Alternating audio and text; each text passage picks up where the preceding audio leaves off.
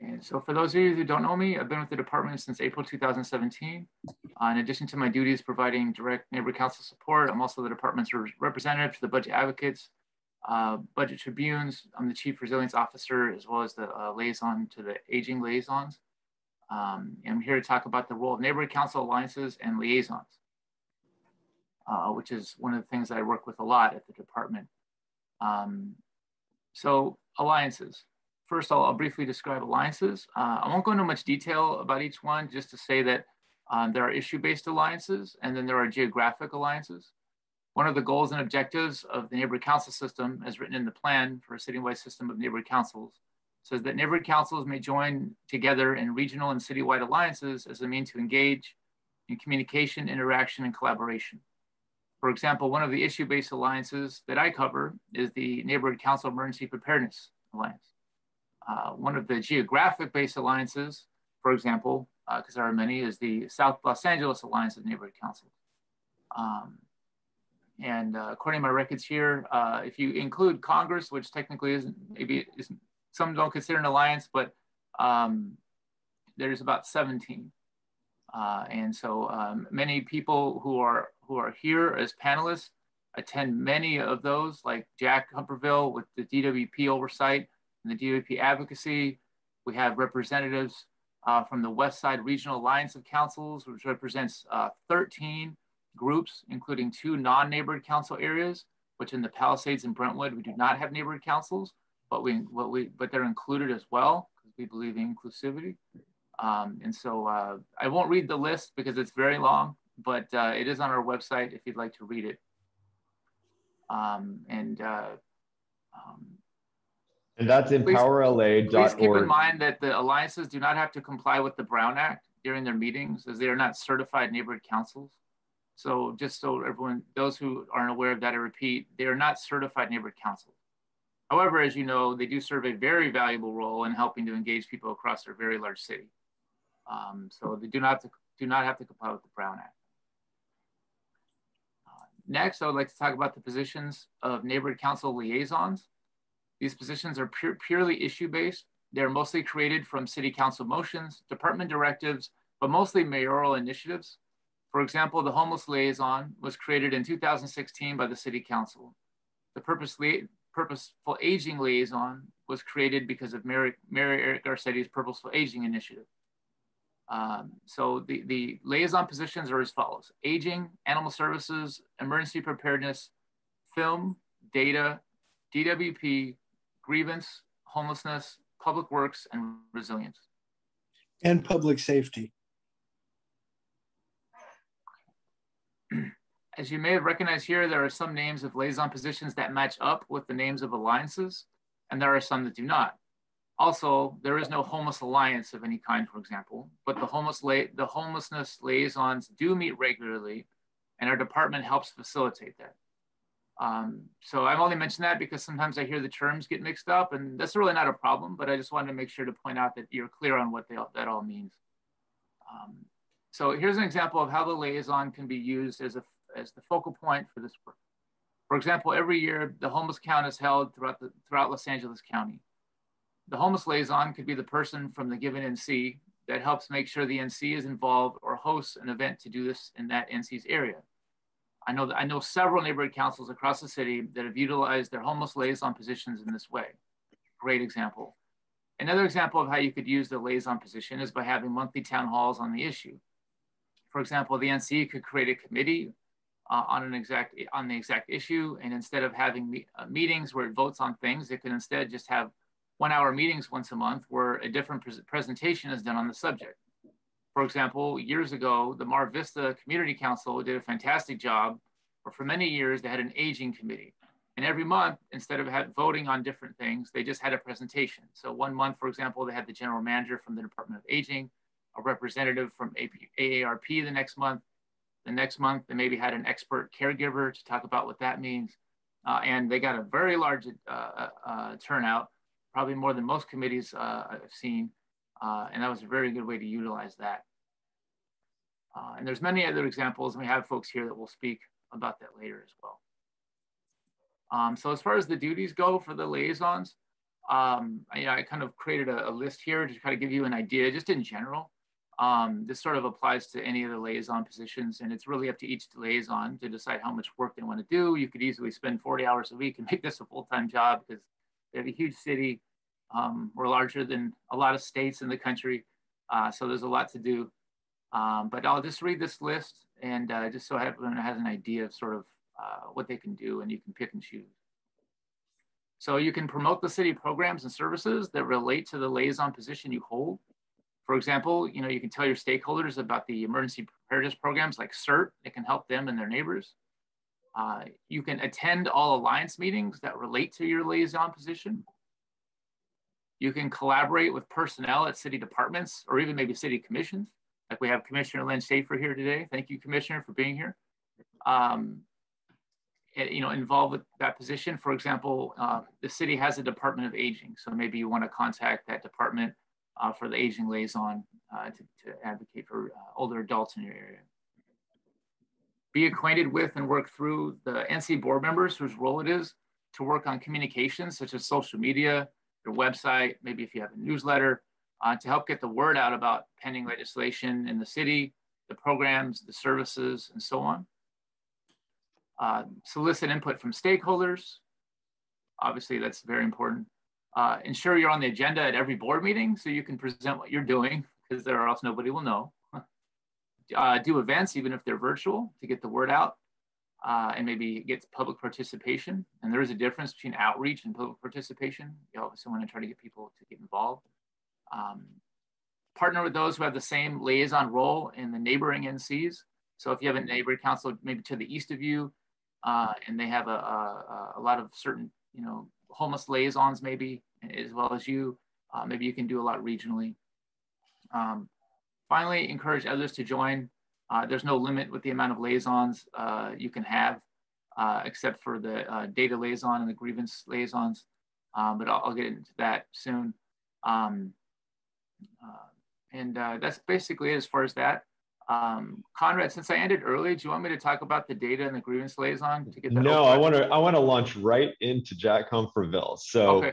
um, thank you so much for that introduction, John. By the way, I didn't intro introduce myself. I'm Conrad Starr. I'm a member of the Congress of Neighborhoods Planning Committee, and I'm also on the Greater Wilshire Neighborhood Council. So, let's turn it over to Jack Humphreyville. He is a budget advocate, but he's also a budget rep, and he'll tell us all about that program in uh, 120 seconds. Jack, take it away. And you're muted. I guess I can't capture my time again. Okay, start over. You're good. no, my name's Jack Humphreyville, and I'm affiliated. I'm a stakeholder in the Greater Wilshire Neighborhood Council, and I'm their budget representative. I'm also an elected budget advocate by the other 36, uh, uh, but uh, or I was elected by a budget advocate by the by the uh, budget representatives in my region five. Essentially, the budget rep, rep advocates are an independent group uh, elected by uh, elected uh, by the other budget representatives, and our charge is basically. Question. Pardon. Uh, no. Could John Darnell stop screen sharing? Okay, but that's it. If if we can oh, just, well, just sh sh quit interrupting me. Thank you. Thanks. I don't get. Actually, you saved me a lot of time. Uh, basically, we're charged with analyzing the city the city's budget uh, from an overview as well as from a departmental level. From the from the overview, we basically review all the documents that the city has. We have a number of conversations among ourselves and trying to develop a number of recommendations that are budget related. We also interview all, you know, we try to interview or talk with the general managers of all the various departments uh, some are more important than others, and at the same and as a result of that, we try and make recommend we we do make recommendations with regards to ways they can improve their efficiency or their outreach. Um, our other charge is, in addition to analyzing the budget and the departments, is to make sure our neighborhood councils try and keep our neighborhood councils informed. We also like to think that we're a body of knowledge where people, if people have questions, they can ask their budget reps or their budget advocates or myself or any of the other uh, budget advocates who they who they happen to know. In the past, we in every year we put out a white paper, which is usually anywhere from 75 to 100 pages, five five pages of which are our overview, uh, our budget recommendations, and the remainder are the neighbor or the uh, departmental stuff. We've had some success in the past. Uh, I think a number of our recommendations have been adopted by the city. Uh, we also, a number of our recommendations have also stirred a lot of conversation, as uh, Paul Krekorian, the head of the Budget and Finance Committee, indicated to us this year. Uh, we meet every year with the Budget and Finance Committee, with the City Council, and also with the mayor and the mayor's budget team.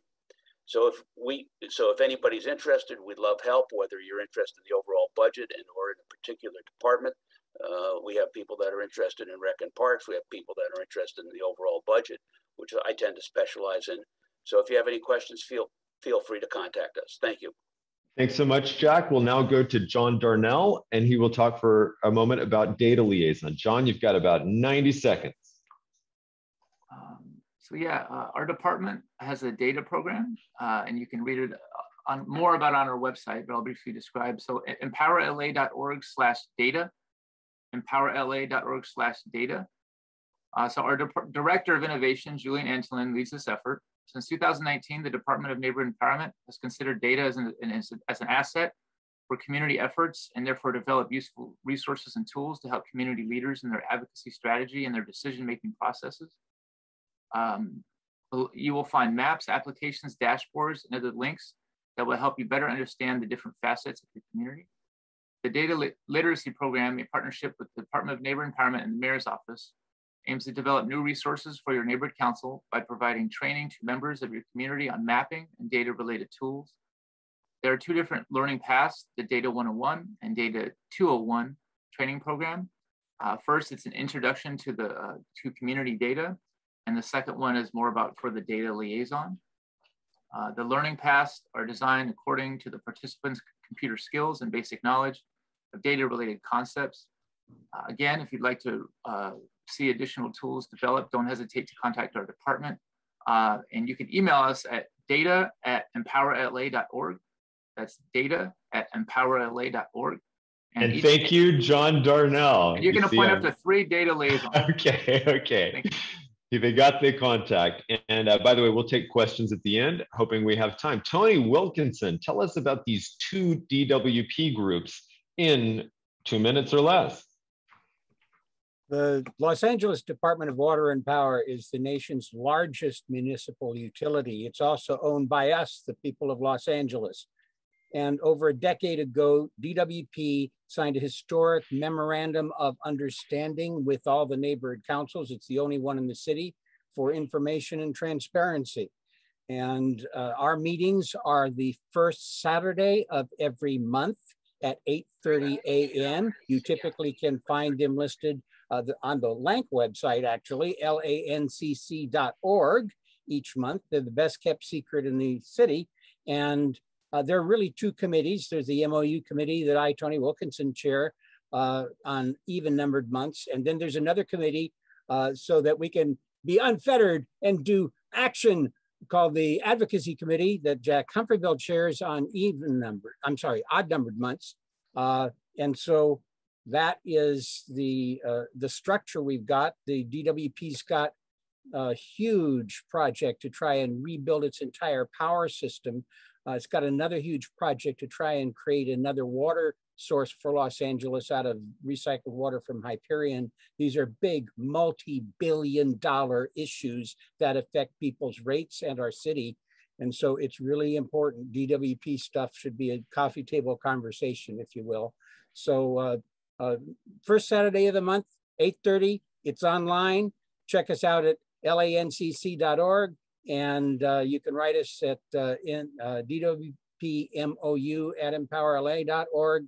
Uh, thank you very much, and we hope you. Oh, neighborhood council should sign one representative. More are welcome as alternates, uh, but everyone is welcome to this meeting. Bring your friends. Thanks for keeping us on time, Tony. Okay, so again, I'm Conrad Starr, and I am the resilience liaison for my neighborhood council, Greater Wilshire. And I think I'm also the emergency preparedness liaison. And truth be told, there's quite a bit of overlap. You'll hear later about the Emergency Preparedness Alliance, but the resilience program started in 2018 when the mayor released Resilient Los Angeles. And the idea is that neighborhood councils can assist in preparing to respond to disasters and slow moving disasters like climate change. Um, it can be anything from cooling centers in your area, preparing for wildfires in your area. Um, for example, a hillside area has a lot of concerns that are specific to them. Um, or it can be more general, like preparing for earthquakes. Neighborhood councils were asked to uh, draft a resilience plan not many have done it, but some of us are still working on it. So while there isn't any formal programming at this time for resilience liaisons, those of us who've been doing it for a while are still continuing. At my neighborhood council, we're working on a continuity of operations plan so that when the phones go out, uh, when there's no electricity, when we can't meet in our regular spaces, and when Zoom doesn't work, we might still have a plan to stay in communication and provide services to our stakeholders. Um, so this is a really important role, resilience, um, because you know everything is changing, and we need to be able to respond and ensure the continuity of our uh, of our basic functions. So that's it for resilience and emergency preparedness. Let's go to John Darnell, and he'll tell us about the grievance panel. John, two minutes. Thank you again, uh, John Darnell, Department of Neighborhood Empowerment. Um, so yeah, so grievances. So each neighborhood council may appoint one board member or stakeholder to serve on a pool panelist uh, eligible to sit on a regional grievance panel. Where grievances are filed, three grievance liaisons are eventually chosen and meet to hear the grievance. Uh, each grievance is based on its conformity with the neighborhood council grievance policy. I won't read the, the section and all that, but uh, basically uh, um, there's a the LA Administrative Code talks about that. Uh, and more information on our website is where you can read it. But the, the, grievance portal allows stakeholders or board members to file grievances against the neighborhood council board, not individuals, but the board, uh, that they believe has failed to follow any of the following. So a bylaw or standing rule, a section of the Los Angeles Administrative Code, a section of the plan for the citywide system of neighborhood councils, an, applica- an, an applicable policy of the Board of Neighborhood Commissioners, a rule or regulation promulgated by the Department of Neighborhood Empowerment, any other city code, executive directive, rule, or regulation applicable to neighborhood councils. Uh, so that can be filed. It has to be within 30 days of the incident of when that so-called happened.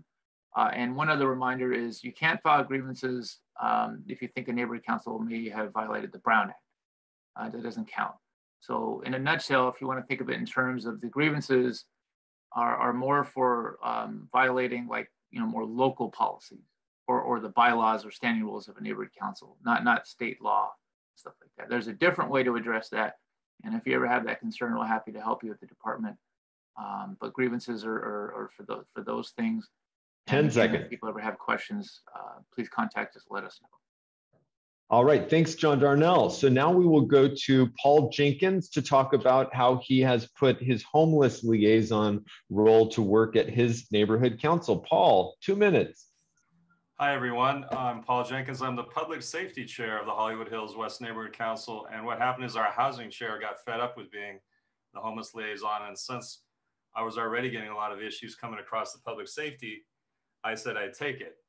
Uh, since I did, it's been very interesting. What you do is, is you go to a LAHSA had used to have, I think, quarterly meetings that were very good. And they had a lot of information that you would then bring back to your neighborhood council and speak about. Uh, there's other neighborhood councils that are very involved in homelessness in Hollywood also, and we all get together and have meetings, discuss it. Uh, so, and a lot of issues come up in Hollywood, and you know what's going on with the homeless liaison. Uh, that's some of the things I've done. Now, as I got into it, I've always kind of studied it. Myself and another stakeholder as a construction manager uh, looked at parking structures, and we think the top floor parking structures would be a great location to put bridge housing. And actually, we're now pursuing that with the city and county, and it's getting a lot of traction. There's a lot of interest in using the top floors of all the county structures, potentially the city structures, potentially, and then private structures. And then we're also looking to tie that into a resiliency center. So you can take this bridge housing, and once it's not needed, it can become a resiliency center for after a disaster. So that's kind of how it all came together. So that's my story. Uh, I'm passionate about homelessness now, uh, and it's it's a it's a very difficult topic for the city. And I think you can have more than one homeless liaison also. So if people are interested, there's a lot of work there that needs to be done in, in your neighborhood council. So that's it. Thanks so much, Paul. Wonderful. I am now going to show a quick video from a public works liaison, the only one that I know from Greater Wilshire. Just a moment. My name is Hayden Ashworth, and I serve as the appointed Public Works Liaison for the Greater Wilshire Neighborhood Council. In 2015, the Public Works Liaison role was created at the request of Mayor Eric Garcetti to serve as the point of contact for the neighborhood council system. The primary role of the Public Works Liaison is to focus on creating a cleaner and more livable city through the Clean Streets Initiative. Other responsibilities include working with the Board of Public Works, the Bureau of Street Services, the Bureau of Street Lighting, and LA Sanitation. The Public Works Liaison serves stakeholders by connecting them to My LA 311, utilizing the smartphone app, the city's website, or the 311 call center. My LA 311 mm-hmm. allows stakeholders to easily connect with city services. To get involved or find out more on how the Public Works Liaison role works, visit empowerla.org. All right. So now we turn to the alliances. And this is going to be harder to keep everyone on time, but we're going to do our best. The first one is budget tribunes, and Josh Nadell will tell us all about it. Josh, please go ahead. Two minutes. Hi, yeah, my name is Josh Nadell. I'm one of the two co-chairs for the Budget Tribunes. Um, we're another budget alliance along with the budget advocates. And while they like to take a, a big top down look from the budget and do an amazing job of looking at the whole city budget, we we concentrate more on helping individual departments or looking into individual topics. So for instance, right now, we're working on um, a topic with the Department of Neighborhood Empowerment, working on their budget and services. And we even have a survey out to their employees to figure out what exactly they're doing their tasks on so that we can figure out how to optimize their workflow relative to their budget so that they can get increased performance without needing to get additional funds. We're working with BONC on a couple projects. We're engaged with the brand new youth development department uh, on another project, helping them um, try to figure out an initial budget for another consideration that isn't necessarily just coming from the CAO and the, the mayor's office. We're very excited to look into a bunch of different budget topics and to look at it really from, like I said, from the ground level, trying to figure out how each individual department um, affects you, the stakeholder, or how we can just overall improve system-wide stuff. You can feel free to reach us at budgettribunes at gmail.com, and I will put that in the chat. Thank you so much. All right, so next up, uh, we have got, my goodness, I'm scrolling myself to find out. That's Doug Epperhart. I'm sorry, Doug, I just muted you. Uh, if you can tell us all about the Harbor Area Alliance I, of Neighborhood Councils. I just unmuted myself, so it's Great. okay. Uh, good morning, everyone. The Harbor Alliance of Neighborhood Councils, I think it's the smallest alliance. There are only seven members because we are down here in the harbor area, sort of away from everybody else. Uh, we meet on the first Wednesday. I put the uh, link to our website in the chat if anybody's interested. We've been around for a long time and obviously probably the single most important priority for us is the port of Los Angeles and everything associated with it, which includes truck traffic, pollution issues, and actually a lot of development that goes on related to the port and the people who work there or work around there. Um, our last meeting was uh, concerned almost exclusively with the proposed amendments to the Code of Conduct. We had a very in-depth session on that. Probably our next meeting will be dealing with the EVG hybrid uh, and what's going on with those uh, proposals. Uh, we are sort of lucky in that we are contained within a single neighbor uh, city council district. So we're dealing with one council member rather than multiple council members, which sort of makes things easier. One of the other initiatives that we're looking at uh, for the near future, especially following the elections and new folks coming on board to NCs, is some educational work, teaching people who are coming into the system uh, things beyond the Brown Act that are really more political in terms of being influential and uh, realizing how we do actually make government more responsive to us. 10 seconds. I'm done. Oh, Thank you so much, Doug Epperhart. Who is next? That would be Glenn Bailey and David Ubersachs to talk about LANC. And I'm giving them an extra minute so they can uh, tell us what LANC stands for as part of their presentation. Guys, go ahead. Glenn, you want to go first or shall I? Los Angeles Neighborhood Council Coalition. All right, I'll go for a little bit. Um, um, uh, I'm Dave Ubersachs. I'm with Winnetka Neighborhood Council president there. Previously, I was in Greater Griffith Park, now Los Feliz Neighborhood Council. And one of the first things I did, besides doing my local committee, is I found out about the local meetings of the citywide uh, neighborhood council. Um, uh, it's really profound that the reach that we have. We usually have our meetings the same time, if not the same venue as the DWP committee. And I remember the first time the DWP memo of understanding committee became two committees so that we could deal with advocacy. Um, we kind of do advocacy as well in terms of finding things that apply, particularly if they're citywide. Um, we'll have uh, you know, speakers. We have great access. Our president, Terrence Gomes, um, followed the footsteps of Len Schaefer um, of getting great access to city people to be able to come. We also surface issues from across the city. If we have somebody that's popping up in one area, uh, we're able to share it, bring in a large group of people, and maybe come up with a motion that we share with all the neighborhood councils who have liaisons. Uh, we standardly have a, a, liaison and a backup, and uh, um, you know one vote for neighborhood councils, and that's why we try to approach as uh, uh, um, as much as possible the same sort of rigorous um, parliamentary standards to make sure that what we're doing is uh, has integrity with what we are then in terms recommending that the neighborhood councils themselves consider the most powerful thing out there is advocacy directly, for example, with a community impact statement. If we come up with something that maybe starts in one neighborhood council, we talk about it a little bit more and then we share it with all the neighborhood council. That's really a profound way to have an impact. But Glenn's been doing this longer than me. So Glenn. 45 seconds, Glenn. I'll just add, I put it into chat. Uh, LANC does meet at 10 a.m. The website is in the chat, uh, www.lancc.org. The meetings are scheduled from 10 a.m. to 1 p.m. because usually there's a meeting after 1 p.m. So we try to keep on schedule there. And the, you never know what the topics are. Sometimes we get elected officials, department heads, or other people working on issues of citywide interest. So thank you all very much and I was muted. Thanks, Glenn and David. Let's go back to Josh Nadell, who's now going to talk about LA Youth Alliance. Josh, you got two minutes. Hi, I'm here again, Josh Nadell. I am the chair of the Adult Advisory Board for the LA Youth Alliance. Um, the previous alliance, I spoke about the Budget Tribunes.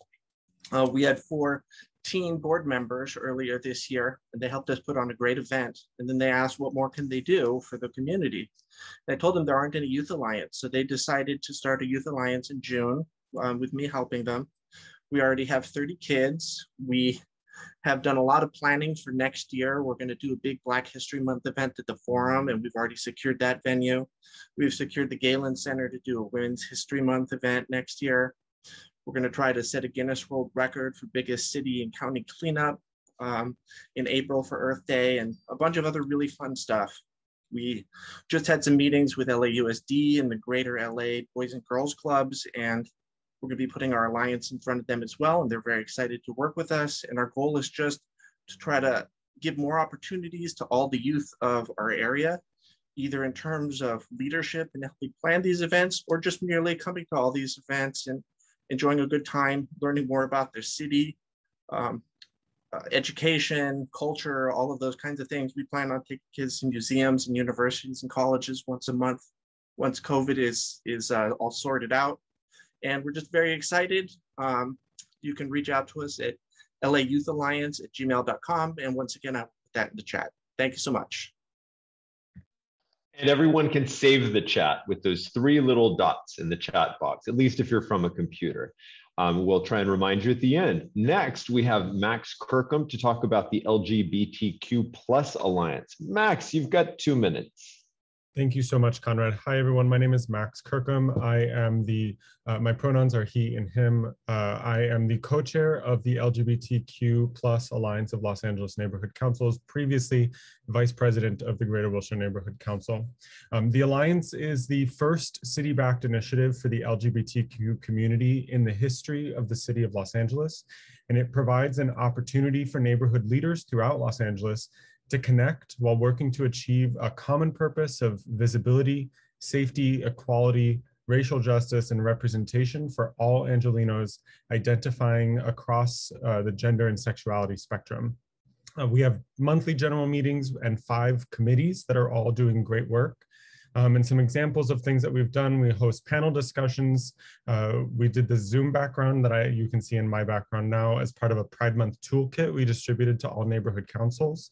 Um, we have put on clothing and hygiene supplies uh, drives to uh, benefit unhoused youth at the LGBT Center. Um, and then we've also been visited by uh, various city and county officials, um, Controller Ron Galperin, excuse me, Mayor Garcetti, Assessor Jeffrey Prang, and then most recently we've been working with uh, G General Manager Raquel Beltran of the Department of Neighborhood Empowerment uh, to help develop the DEI, Diversity, Equity, and Inclusion training that is going to be uh, rolled out to all neighborhood council members uh, in the next year or two. Um, going forward, we're looking forward to celebrating LGBTQ History Month, which is uh, October. Um, please note for us, while each neighborhood council can officially appoint two liaisons to our alliance, if any other board members or any other stakeholders want to become voting members of the alliance, uh, we open the floor to new members by self-acclamation at the beginning seconds. of every meeting. Thank you. Uh, I'll, I'll share more info in the chat or how to contact us. Thank you so much. Thank you, Max Kirkham. All right, so next up we have Commissioner Lynn Schaefer, a commissioner of the Board of Neighborhood Commissioners, and he's going to talk for a couple minutes about the Neighborhood Council Emergency Preparedness Alliance. Lynn, please go ahead. Lynn, you might be muted. Is he with us? Uh, oh, there we go. Okay. There he is. I'll start your time over. Go for it. Okay. Well, good morning, everybody. I'm glad to see people. I'm Len Schaefer. I facilitate the Neighborhood Council Emergency Preparedness Alliance. The first meeting of the Alliance was in late 2015 in response to the predicted flooding from a large El Nino event. Uh, it missed us and hit Northern California, so that was a, a, a thing that just didn't occur. But the, uh, the first emphasis um, was on what efforts the city was making to become prepared for a major event such as a large earthquake. we discovered that the city departments were well prepared, but the public had been left out of a lot of these plans. Uh, over the years, we've brought in speakers with expertise on uh, various emergencies and various things that we might see here in Southern California and in Los Angeles, and uh, look to them to help us uh, be educated on how to become prepared. Um, the goal was how to work with the city to involve neighborhood councils in preparing neighborhoods for various emergencies from earthquakes to hillside fires. Um, we found that uh, within the city, there was a lack of coordination. There were too many agencies. There was a lack of communication amongst those agencies.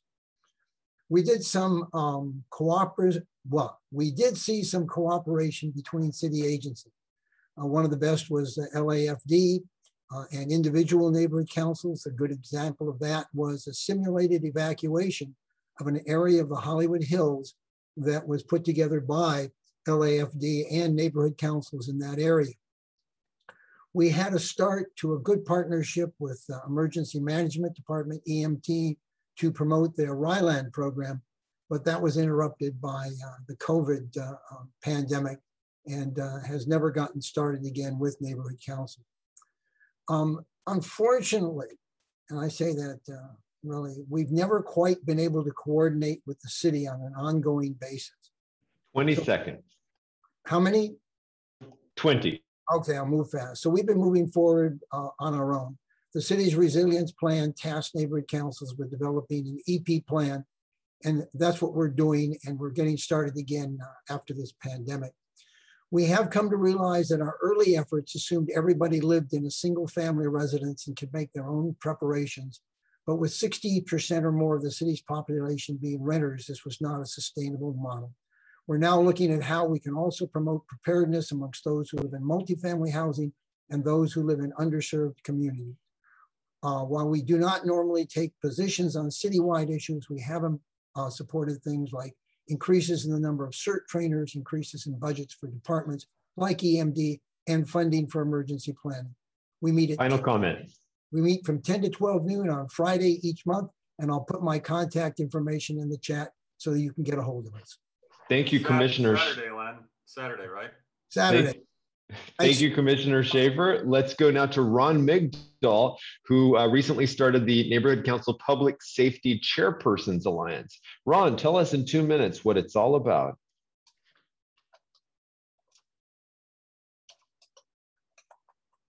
Ron, we don't hear you yet. Okay, am I good? There you're good. Please, go ahead first of all, Conrad, thank you for putting this together. This is, I'm sure, a titanic effort. Um, the, as you said, we are the youngest alliance. Uh, we don't have a website yet, but I will put my email in the chat. Um, I'm going to start by reading our mission statement. It's pretty short, and I think that will give you some explanation. The Neighborhood Council Public Safety Chairpersons Alliance uh, NCPSCA is a citywide alliance of public safety chairpersons and other public safety leaders collaborating in order to enhance public safety in Los Angeles by unifying the efforts of public safety committees. Sharing public safety ideas and procedures can only work to benefit all of our Los Angeles stakeholders. So, uh, admittedly, there is some overlap between public safety and uh, emergency preparedness. We we are focused a little more toward safety, law enforcement, uh, things like that. Uh, sorry, fire, law enforcement, things like that. Um, I, like most of you, I wear many hats. I'm the vice chair of my council. I'm the resilience liaison, the emergency preparedness liaison, the public safety committee chairperson and the chairperson of this alliance. Um, so we've had some excellent, excellent speakers, including Armando Hogan from LAFD, uh, Captain 3 John Tom from West Bureau, uh, Jimmy Lavinson, who is our uh, senior lead officer. Really, really out, outstanding speakers. The last meeting, uh, per the request of the members, we didn't have any speaker. It was just a sleeves up sort of sharing and, and speaking with one another. We meet the third Tuesday of every month. Um, if you shoot me an email back, I will include you in our mailing list. And put that in the chat, Ron, if you don't mind. And I need I, to move us along. Thanks so much, Ron Migdal. And let's move to Muriel Nakar. Hope I'm saying your last name right. She's going to talk about the Neighborhood Council Sustainability Alliance in two minutes. Okay, um, so yeah, my name is Muriel Nakar. Um, I'm a steering board member with the NCSA. Um, so these are just a rough, um, sorry, uh, just like a quick little spiel on the NCSA. Our mission is to advance sustainability and resilience across LA through advocacy, community action, and the sharing of best practices. So far, 64 neighborhood councils have joined. Um, we have four committees so far. We have advocacy, energy, transportation, and trees. I am the, the chair for transportation. Um, we've dropped sustainability guidelines for developers. We have a green business ambassador program. We have a Green New Deal toolkit for neighborhood councils. We have resources for electric vehicles. We are launching a cool blocks program looking for cool block leaders. Um, the program launch it starts off in January. Um, it's a block by block organization uh, organizing effort to help people create the neighborhood they want to live in and improve the environment at the same time. Um, households work on reducing their carbon footprint, conserving water, uh, making their neighborhoods safer and more livable, and getting prepared for emergencies or whatever they want to work on um, for building the community that they want. And everyone is welcome to join our efforts. I'm going to add more information in the chat, just our main, um, our website. Our big meetings are usually the second Sunday of every month. So our next one's going to be on Sunday. We're going to have, we're going to, we, we plan to hold an advocacy um, training for that particular Sunday. And um, yeah, so come and get your questions about community impact statements and discuss how we could use our collective voice for change. And um, I'm going to link our website to the chat. And we also have a Slack workspace. So yeah, thank you. Thanks so much, Muriel. And uh, Matt, you're going to be after VANC because I just got a last minute submission that comes alphabetically before the W. So Valley Air Alliance of Neighborhood Councils, Glenn Bailey, tell us all about it. Uh, good morning. Uh, the Valley Alliance of Neighborhood Councils is the was founded by Jill Banks Barad in um, uh, 18 years ago. It is the oldest and the largest of the regional alliances because there are 34 neighborhood councils in the San Fernando Valley now. So we have representation at at uh, some point in time from each of those 34 neighborhood councils. Uh, the VANC is organized in addition with an executive committee of uh, 12 uh, folks from different of those neighborhood councils. Uh, the Valley Alliance meets on the second Thursday of the month at 6.30 p.m., uh, currently virtually via Zoom. We have guest speakers, which include elected officials, uh, department heads, and other folks uh, presenting information of interest from uh, two neighborhood councils. We frequently have uh, the general manager of the Department of Neighborhood Empowerment or somebody else from the department to give updates from DONE. Um, and we deal with issues including council files. And I have put into chat the uh, fact that the VANC is hosted on the LANK uh, NC Alliance's webpage as far as our meeting notices, the Zoom link, which is the same for each month. The agendas are posted there once they're available, and also a link to the recordings of our previous meetings since we went virtual in July of 2020. So you can you can see the recordings of any meetings for the past year and three months, and we'll continue doing that for as long as we're virtual. Um, 10 seconds. Okay, thank you. Oh, we and I do want to thank those of you from the Valley uh, who are attending this session because I know you you do uh, show up at the VANC meeting. So we want to make sure all of the 34 neighborhood councils are represented. Thank you very much. Thanks, Glenn. And thanks for mentioning the empowerla.org slash alliances page, because that shows that there are some additional alliances that didn't make it to today's session, but you can find out about them there and how to contact them. Next, let's go to, uh, I'm sorry, I just lost yours, Matt. It is the Westside Regional Alliance of Councils. Matt, take it away. Good morning. I'm the president of the Del Rey Neighborhood Council and also the chair of the Westside Regional Alliance of Councils. At RAC, we have 14 member councils. We represent approximately 500,000 stakeholders from uh, everywhere from west of the La Cienega to the uh, Pacific Ocean. We go from the Palisades down to Westchester. Uh, we do, as John noted at the beginning, have both community councils and member councils. I, I, believe we're the only ones to do that. And that just comes out of trying to be inclusive of our whole geographic area. Uh, we meet the third Monday of every month. Our website is westsidecouncils.com, and on there you can find our agendas, uh, our motions, and uh, and some more information about all of our member councils. Uh, over the past year, since I've taken over as chair, we've refocused our mission to be twofold. The first one is to be carrying motions. Uh, the RAC board doesn't vote uh, to approve motions. We vote to send it out to member councils. And when we get to eight of our councils to approve, the action becomes official. By not being, uh, you know, a Brown acted and not being an official neighborhood council, we have the advantage that we can then take those motions and reach out to county and state officials that neighborhood councils may not technically be able to go directly to and lobby for those motions in that sense. Um, we also have uh, prioritized guests, and that's been really important to us. And on a monthly basis, we've been trying to bring in uh, uh, who, whoever we can, from the mayor to our Congress folks to county supervisors to the uh, county health director. We've had a really good track record of engaging um, our elected officials and having them come and speak to our board members. Um, 15 seconds. We also have a number of active committees in homelessness, uh, land use and mobility and transportation. And again, our website's westsidecouncils.com, third Monday of every month. Look forward to seeing everyone there. Thank you, Matt Wersinger.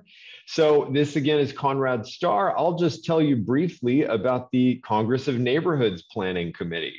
Uh, we meet after the LANK meeting, uh, which is every first Saturday at 1.30 p.m., if I've got that right.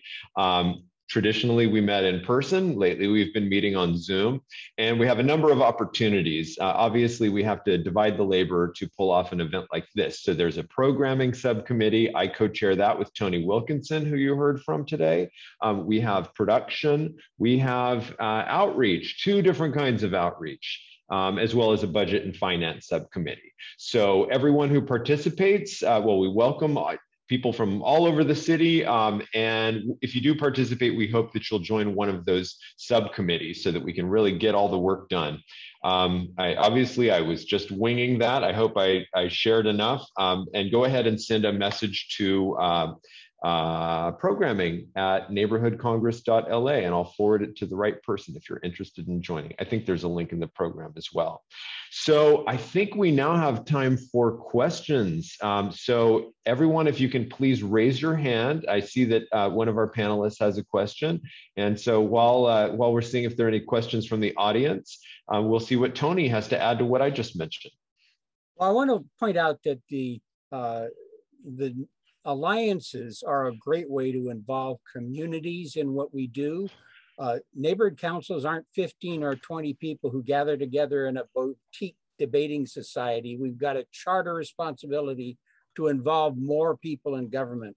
And certainly all of the alliances and particularly the topically alliances and the liaisons give people who are not on boards great opportunities to participate in city government, to come back and talk to the board about what we've done. So I hope that that as part of our community broad outreach to get more people involved than just board members, we emphasize alliances, whether it's sustainability, obviously DWP, whatever, just a fertile field for this. And so please add some more people. And remember, you can always have alternates. Thanks.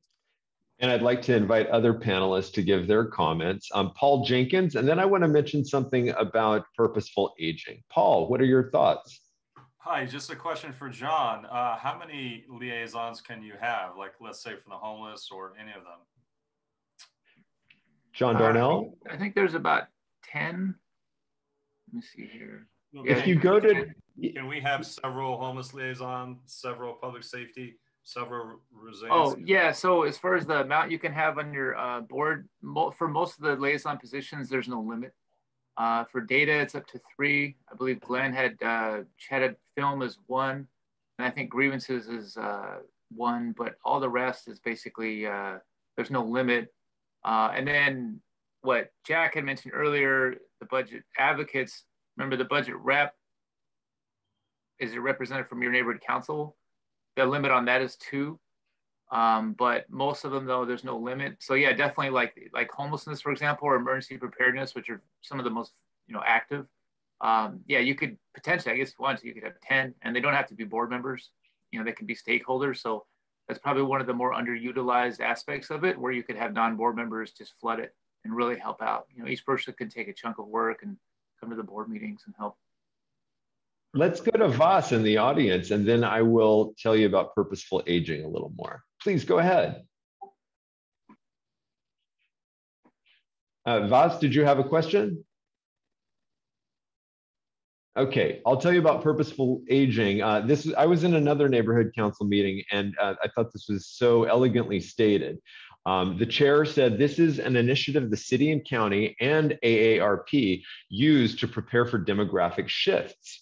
So it involves engagement with our elderly community and with the nonprofits and community resources that are available to them, making sure that they have access to civic participation, to employment, to emergency preparedness, health, and transportation. And he noted there's a lot of overlap with transit and health and disability. So that that was, I thought, a very, very great answer. Um, Voss, are you able to unmute yourself? It looks like you're unmuted, but we're not hearing you. Um, Glenn Bailey. I just wanted to chime in with regards to one of the other uh, uh, Neighbor Council Alliance, um, sorry, um, liaison programs that was established through the mayor's office and the department, and that is animal services. Um, because there are uh, throughout the neighbor council system a lot of folks who uh, care about animals and the animal issues. And I, I'm only making a point of this is that they've had several meetings in the past but now that there's a new general manager of the department, it might be good for neighborhood councils to um, reach out and uh, contact the department and say, hey, we've got folks who are interested in this. Can you restart up the uh, liaison meetings for animal services? Thank you. And before we go to Jack Humphreyville again, just want to remind everyone, we'll be closing this room in four minutes, and then it's time for you to move on to the main room. So you'll go to neighborhoodcongress.la to find the link for the opening session. Jack, please go ahead. Yeah, I, this is a suggestion for uh, for DONE. I think it would be very helpful on the DONE website and on, on and on each of the neighborhood councils if they would identify who the, who the various liaisons are. Who's the budget advocate? Who's the DWP? Who's animal services? Who's the who's the Tribune? You know, who's the sustainability uh, person? And that way, I think it would make it would it would just be helpful to have that in place so that uh, people know who the hell who the hell is representing them. Thanks very much, Jack. I actually went to uh, the um, Internet Archive Wayback Machine to find old lists of liaisons to try and get people into this session. Those lists were very helpful. I hope they come back. So I'm putting into the chat the link for the main session, which starts at nine, but we still have a couple of minutes. Josh Nadell, please go ahead. Yeah, I just want to follow up on what Jack just said. I think that that's a wonderful idea. And I think that if all the NCs were posting those lists, any of these alliances that don't have membership from those NCs, once they see that there's a blank spot on their list of like who they could be, have a representative for, you know, be it um, a liaison, an alliance or something, lots of people don't like seeing blank spots if they have them there. So maybe that can get more membership in all these alliances and all these liaison jobs more filled up as well. So it's wonderful idea. I, I hope maybe John Darnell can give us a hand in working on that. Maybe John Thanks. can do it tomorrow and we'll be all set on Monday. John, you've got your marching orders. Um, well, uh, I didn't hear I a hope... second to the motion, so sorry. what I hope everyone has taken away is that um, all of these roles take some self initiative. Um, we may not have the traditional support from the city and the department with all the, the COVID restrictions and budget constraints um, and yet you hear about liaisons who are really making the job their own. And uh, with the, with the uh, support of the neighborhood council, they feel confident to go to city departments, say, I am my neighborhood council's liaison. And um, I wish to have a discussion with you about this, or I'd like you to come and speak to a committee or address our general board. Um, this will not be spoon fed to you. So whether or not you find your way onto a list that's on a website someday, you're going to have to do the work, or it's just going to be, you know, paperwork essentially, and, and nobody needs more paperwork. Um, is there a final question or comment that anyone would like to make? Um, and I, I will also, let's go to Paul Jenkins, and then we'll turn it back to John Darnell, and then we will close the room. Hi, John. Another question for you. The process if someone was to be a liaison, is the president of the neighborhood council just approves it, or can you confirm real quick what the process is? Yes, uh, unless your bylaws or standing rules or policies and procedures, whatever you have, say otherwise, then yes, the chair or president of the neighborhood council can just appoint the person um, between board meetings, for example. Like say it's not at a board meeting and someone emails them, they can surely just appoint them.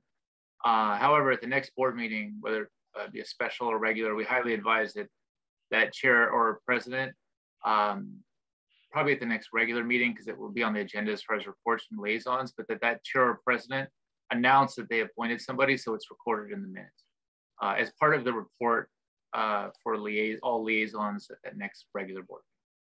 And can a liaison then have their own meeting or what is their ability if they're not a board member?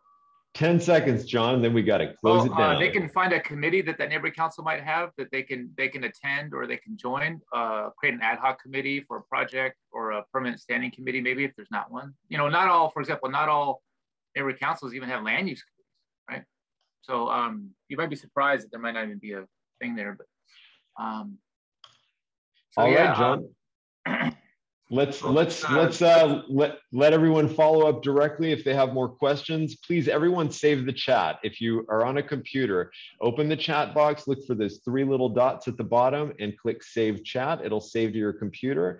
Um, and feel free to reach out to programming at neighborhoodcongress.la and I'll try and get your question through to the right person. So uh, everyone, we'll see you in the main session. John, I'll leave it to you to close the meeting out.